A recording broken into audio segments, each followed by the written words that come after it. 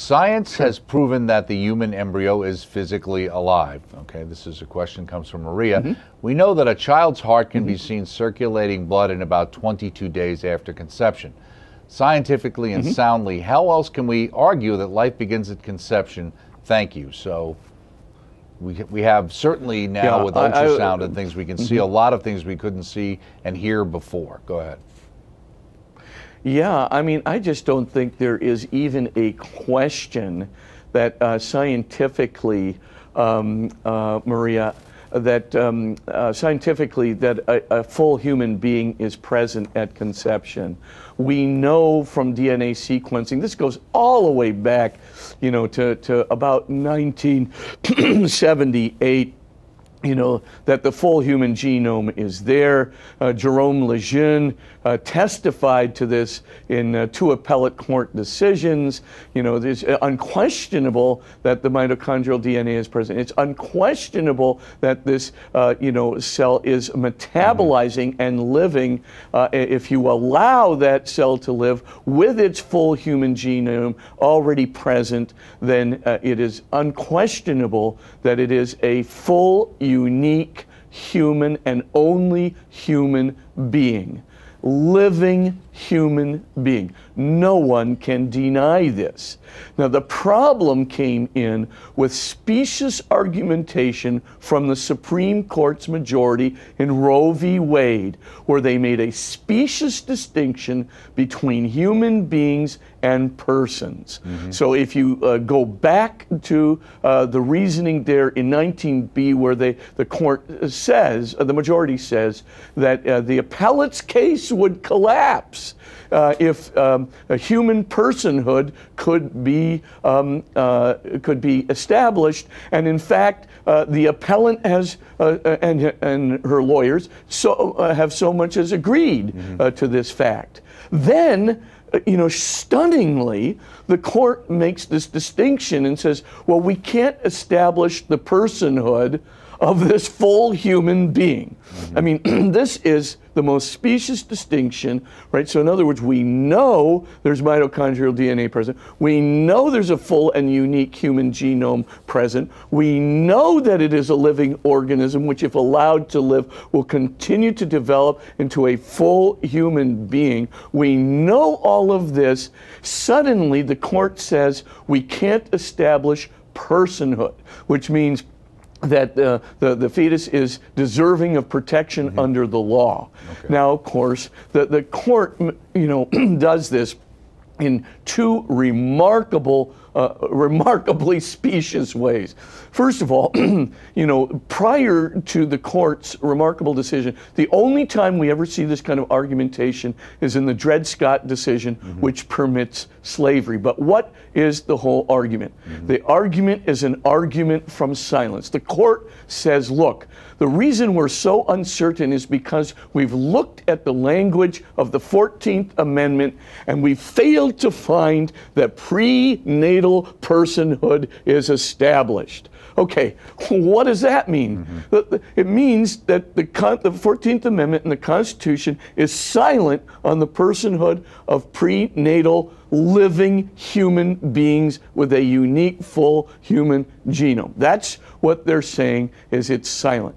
Now there's a, a, a real important uh, dictum in the law that silence means silence, that you cannot construe silence to mean the affirmative or the negative because silence says nothing. So it is unfair and it is unjust to ever interpret silence as meaning one or the other. This is a well known dictum. The court abrogates it, immediately says, because we found no specific mention of uh, prenatal personhood here in the 14th Amendment, therefore it doesn't exist and it's okay to kill that fetus mm-hmm. because we didn't find any evidence to uh, to support prenatal personhood. Now, first of all, that is a you know an egregious violation of logic and of legal reasoning 101.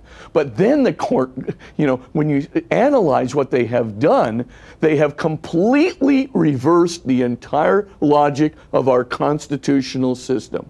Instead of saying that the burden is on the courts to prove that a living human being is not a person, in other words, to give evidence that this living, full, unique human being is not a person simply because they are uh, in the womb, in utero.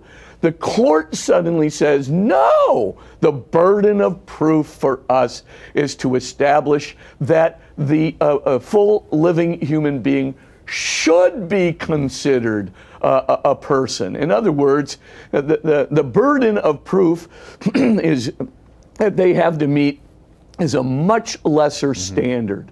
Now all they have to do is show, um, right, that there's some evidence that um, uh, a full human being should be considered uh, to be a person in the eyes of the law. A much easier standard to meet. Now, if you really look at that, I mean, you could, you know, I could find you a, a, a zillion analogies, but let's take a look at the Dred Scott decision, uh, you know, for just a second, you know, which, which goes ahead and, and permits slavery of human beings, quote unquote, by the superior race. Unbelievable phrasing, right? And what was the logic there? The court said the same thing. The court said, oh, we've searched the Constitution and we do not see any explicit provision guaranteeing black human beings citizenship according to the Constitution. The Constitution is silent on this. So Dred Scott, right, the, the, the, the unanimous uh, uh, um, justices say, because the Constitution is silent about proving personhood for uh, about proving a citizenship for black human beings. Therefore, they don't have it. Therefore, the, the Constitution intended to deny citizenship to black human beings. Then they go on with the same logic. It's up to the court not to prove that black people should not be considered human beings in order to avoid the principle of non maleficence, right? Doing them an Right. unjust and unnecessary harm. Instead, they say the court is only responsible for proving that uh, black people should be considered human beings, uh, should be considered persons and, and citizens, and we can't do that right now. So go ahead and enslave them. It's okay. We're the superior race anyway. Would you say now, in that if you- situation? would you say, Yeah. Father, in that situation, that in both Yeah. those cases, decisions were driven more by the politics of the day than, you know, what the appropriate legal decision should have been, right?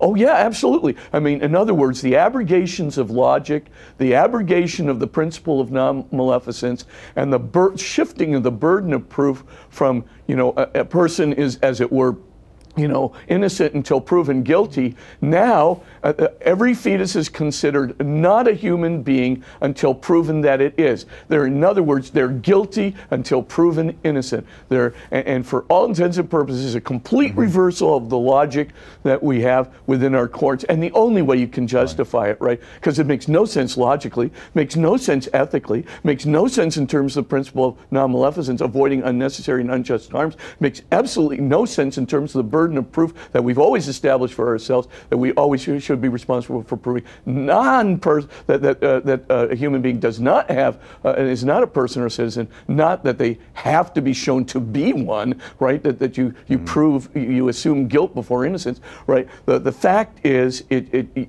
what motivation could you have for such specious, unethical argumentation? There's only one reason: politics convenience, whatever you want to call it. It's a Machiavellian decision made, I, I shouldn't say this, by some Machiavellian weasels who really did not want to honor mm-hmm. the, the, the true intention not only of the founding fathers, but of all the people that go all the way back to Francisco Suarez and, and go back to you know Hugo Grotius and go back to John Locke and go back to Thomas Jefferson. I mean, you know, when you look at this, they would be appalled at the complete abrogation of natural rights. They would be completely appalled by interpreting silence to mean an absence of rights. They'd be completely hmm. appalled at establishing the burden of proof